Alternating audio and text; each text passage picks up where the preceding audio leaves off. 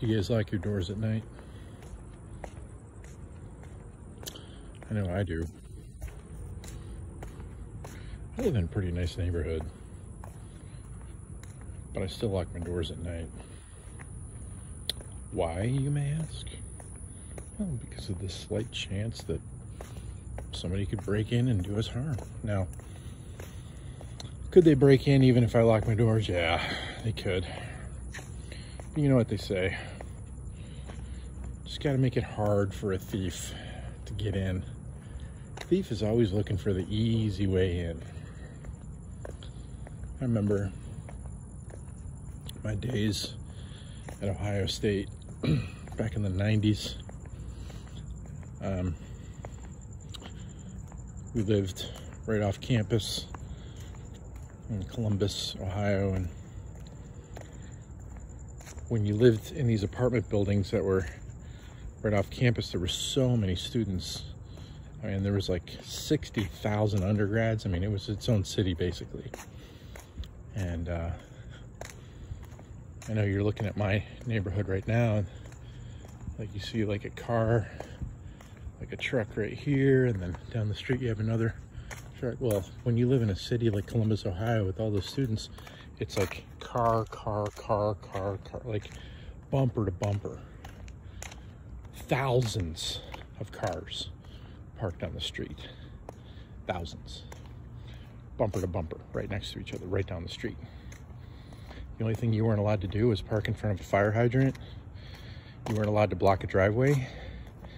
And you weren't allowed to park within a certain number of feet of a stop sign basically there was like no parking signs everywhere.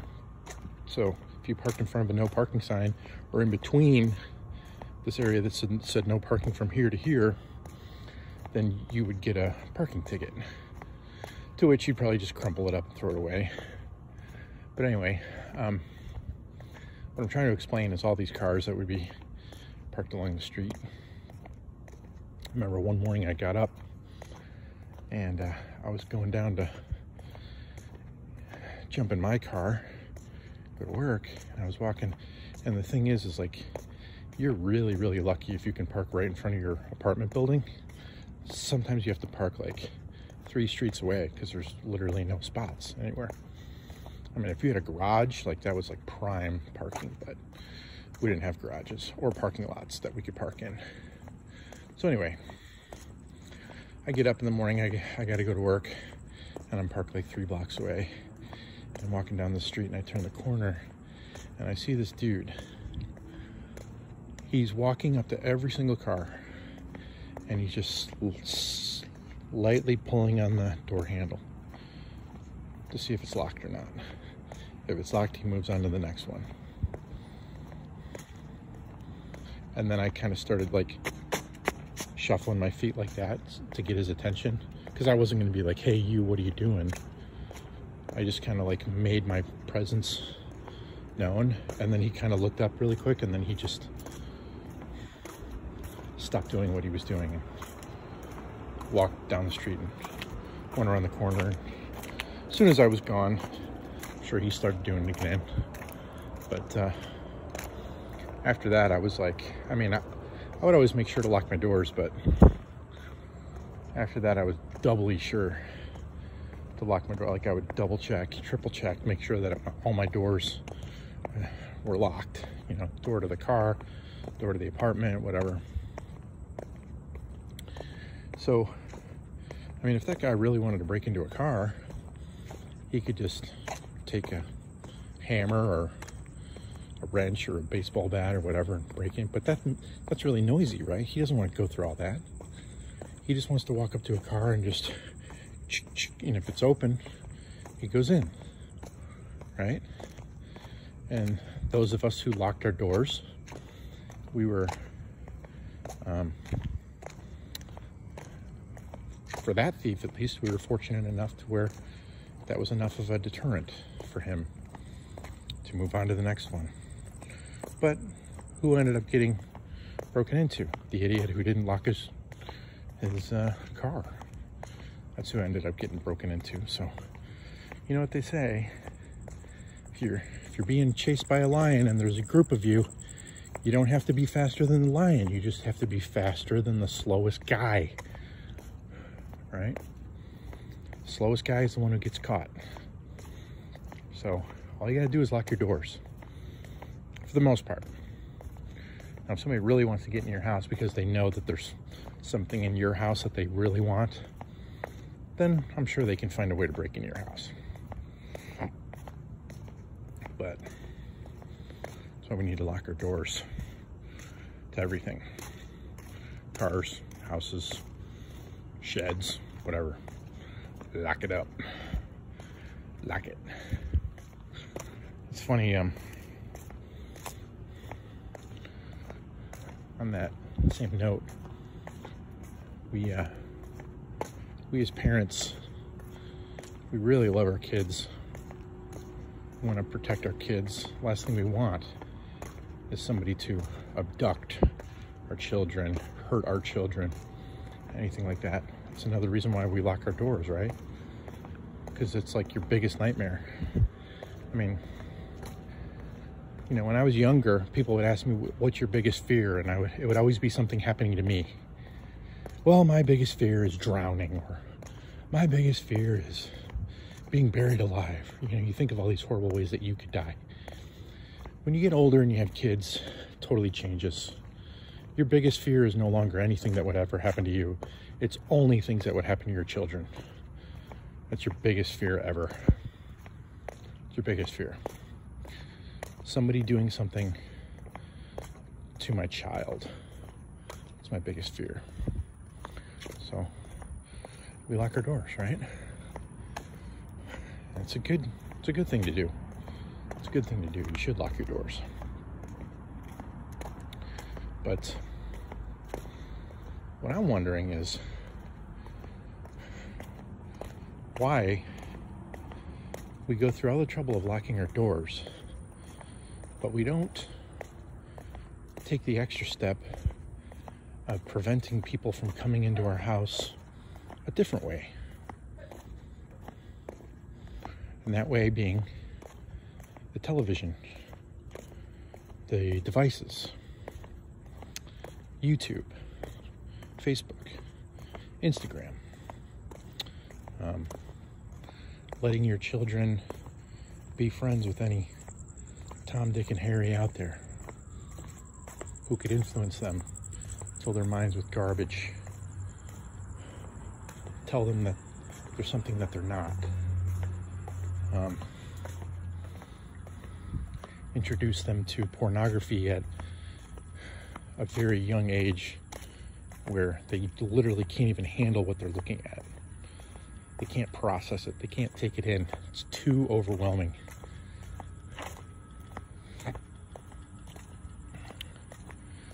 Or have them listening to some guy or gal on the internet convince them something about themselves that isn't necessarily true or something about the world that isn't necessarily true. Your kid's getting exposed to all kinds of things that you have no idea they're getting exposed to. Why? Because you're not you're not monitoring your kids enough. You're not you're not monitoring what they're doing. You know? Think back when I was a kid, the internet wasn't even a wet dream. The internet wasn't even a nobody could even fathom what the internet was. When I was a kid, cable TV was the big thing. That was the big thing. And we were, we were, uh, it's just me and my brothers and my mom and the three or four TV stations that we had in our house. We had no idea what we were missing. You know, TV wasn't that big of a deal. You know, we used to like to watch um, The Love Boat, followed up by Fantasy Island on whatever it was, Saturday night, Sunday night, something like that.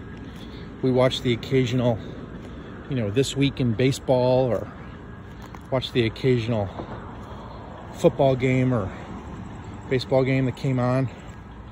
And then, of course, Saturday morning cartoons were the big thing. Saturday morning, dude. It's like Saturday morning That is my time to be in front of the TV.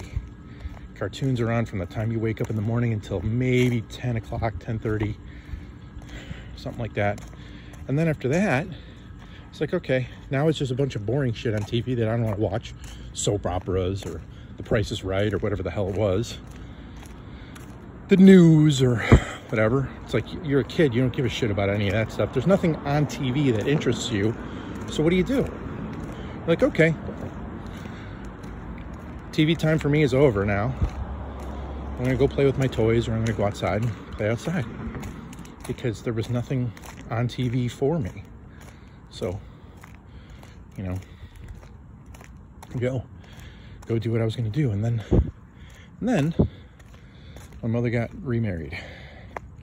So my parents were divorced before I even started forming long-term memories. My parents were divorced before I was two years old. I was about one and a half my parents divorced.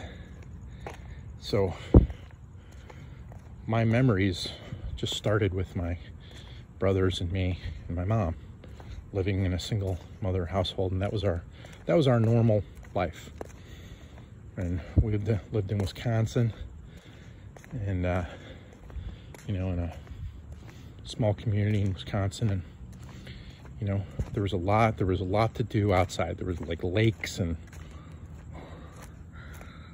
you know, trails and stuff like that. And we just, we go fishing or we just walk around or we ride our bikes or go outside and play football or baseball or whatever we do. And if it was too cold to go outside or whatever, or you didn't feel like going outside, you play with your toys at home. You read a book or color, whatever.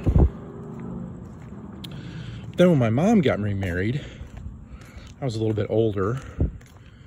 Then uh, we moved to Chicago.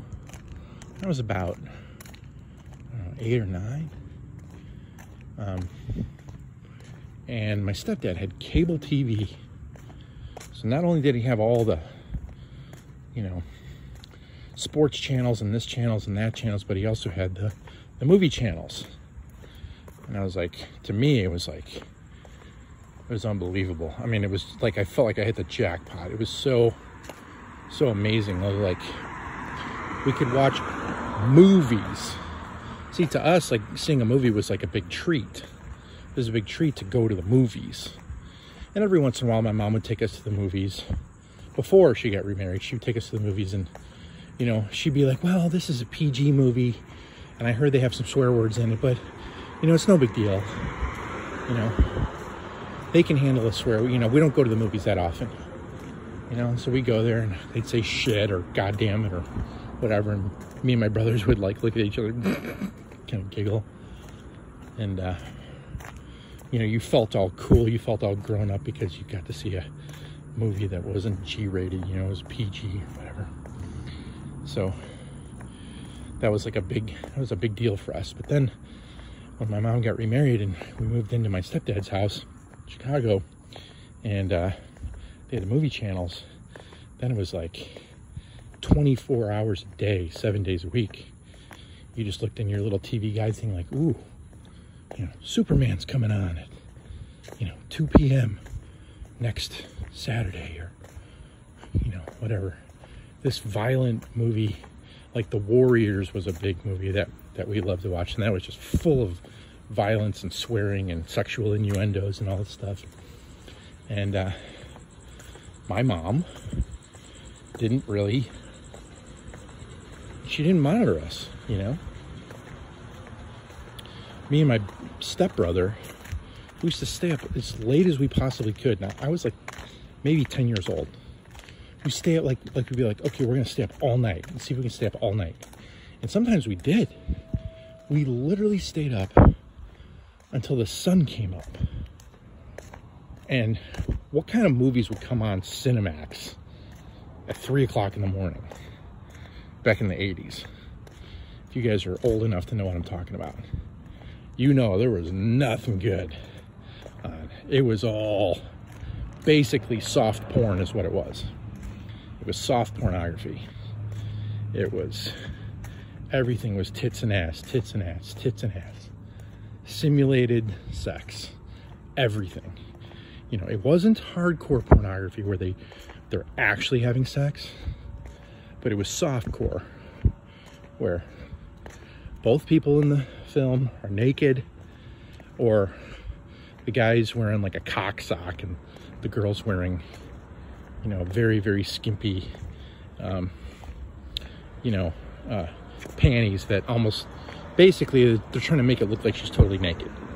And they got the covers over them in the bed and they're simulating sex. They're not really having sex but you know they're groaning and making all the noises and her, her tits are bouncing up and down and just you know all that stuff right?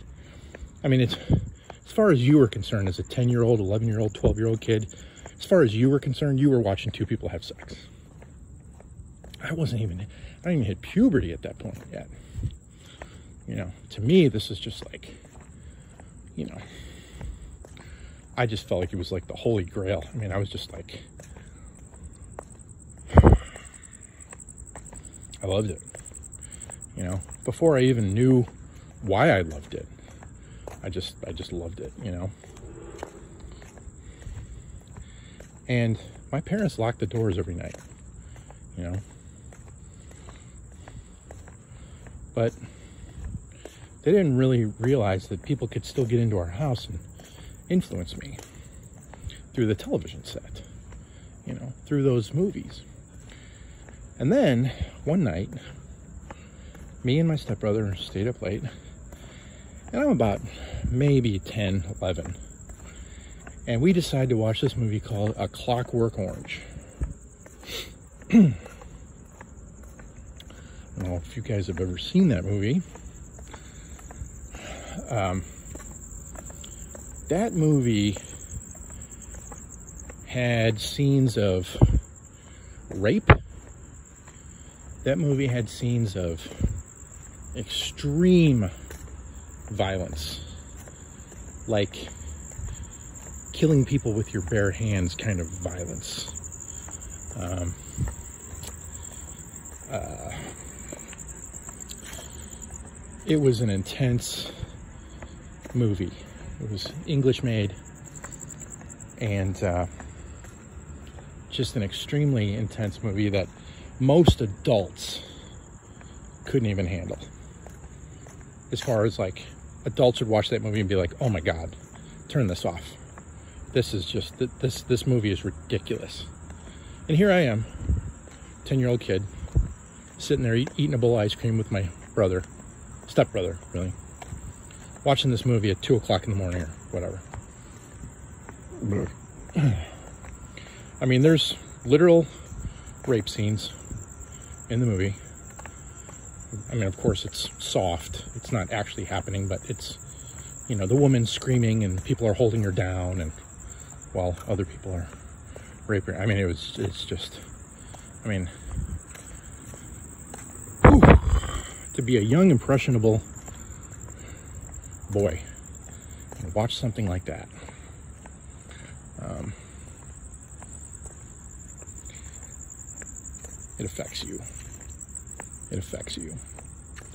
Puts thoughts into your head, puts images into your head that um, you can't unsee. You can't unsee those things.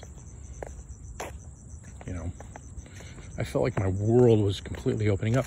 Not only that, but you know, like I had my my stepbrothers were much older than me, so you know, we would be just talking, goofing around, joking around, whatever. And my stepbrothers, they're just, they just had completely filthy mouths, saying all kinds of stuff. I had no idea what the hell they were talking about.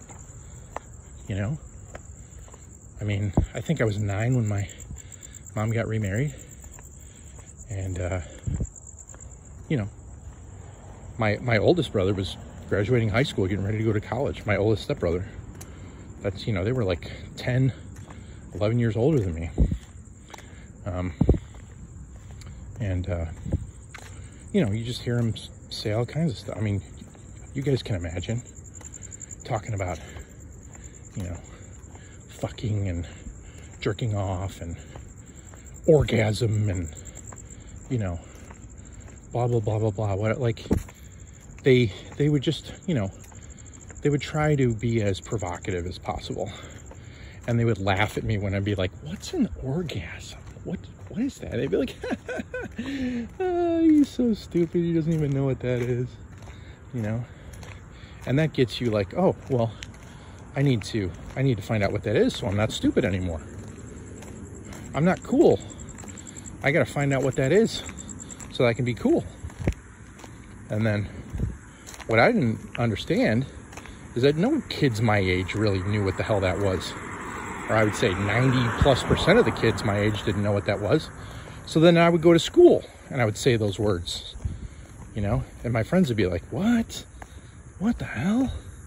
And then, you know, they'd tell the teacher, you know, Schaef just said that, like, I don't even know what that is. I'm pretty sure it's a bad word, but, and then the teacher would come over and be like, um, you can't say that. I, I quickly realized that I was like one of those kids in school that had the filthy mouth that the other parents would tell their kids, you're not allowed to play with Schaef, you know. And what did I know? I didn't know. Oh, I thought I thought my phone was dying again. I didn't know that. Uh, you know, I didn't know that that was a what I was saying was bad or wrong. I just I just thought it was cool. I thought I was being cool. You know. oh jeez. And nowadays I'm raising my kids and there's these kids in our neighborhood, you know, or there's like always one kid in the class that comes to comes to school talking about you know talking about sex or talking about drugs or talking about whatever. It's ridiculous stuff completely ridiculous stuff. You know, like one one kid on my son's baseball team was talking about dildos. Right, my son's 11. You know, he comes home from baseball practice. He's like, Daddy, I was like, Yeah. What's a dildo? like spit my drink out. Where the hell did you hear that? Oh, uh, this kid on my baseball. Yeah, I know that. I know exactly who said it. I know. It's that same asshole that says all that other shit. So what is it, Daddy? I'm like, don't worry about what it is. Well, I really want to know what it is now. I'm like, great. So now I got to talk to him about what a dildo is. I got to tell him what a fucking dildo is. And it's like, you know, people are going to be like, well, Shay, you know, you got to have those conversations with your kids eventually. And it's like, yeah, I do, but it's like, I don't think I should be having to talk to an 11 year old about what a fucking sex toy is since he hasn't even hit puberty yet. You know, it's just one of those things where, like, kids are growing up too fast in this world.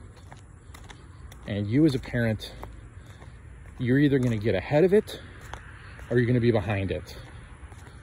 And you want to get ahead of it. Period.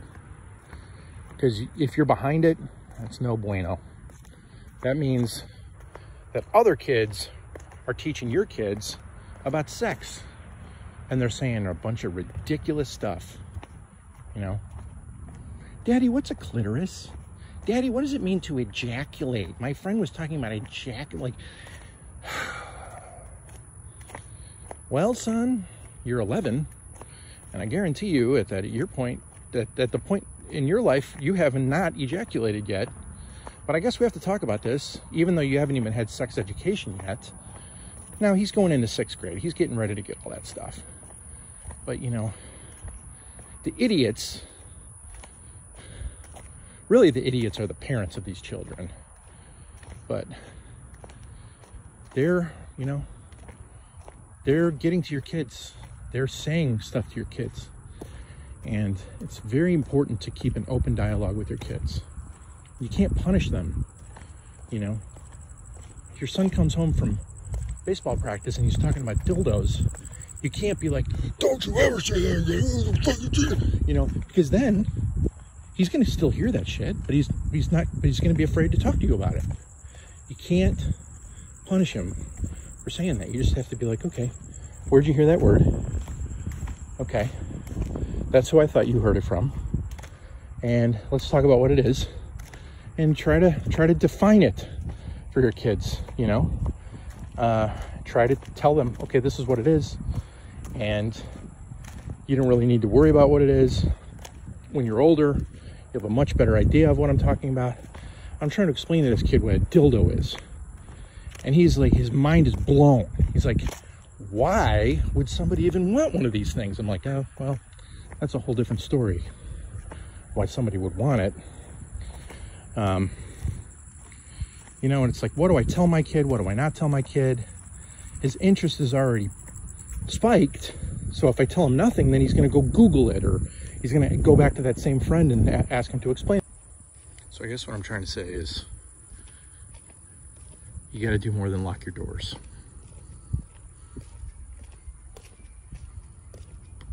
Keep your kids safe. You got to monitor everything they do.